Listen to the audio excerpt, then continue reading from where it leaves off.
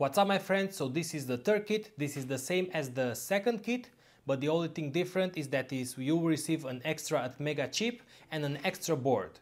Why, uh, why you need these uh, extra components? Well, in case that you, the, that you see that soldering these components, which is an SMD component, is very difficult, you might broke some pins or you might solder it bad, for just in case you will receive a second board and you can do it uh, another time with a second chip so don't worry, just for a few more dollars you can have a spare in case that you that you damage this board or the chip, which, has, which are the main components for this project and are the most difficult parts to solder because all the rest are just resistors and buttons and those are very easy to solder so don't worry for that. So this is the third kit with an extra Atmega chip and an extra board for this project. So the rest is just the same, the buck converter, the MOSFET, these more, these more resistors capacitors, the amplifier, the buzzer, the iron tip, the T12 iron tip, the OLED display. You also receive the cable and the FTDI programmer, the DC connector, the vibration sensor, two push buttons and the metal clips. And of course, a 3D printed case which will be of a random color.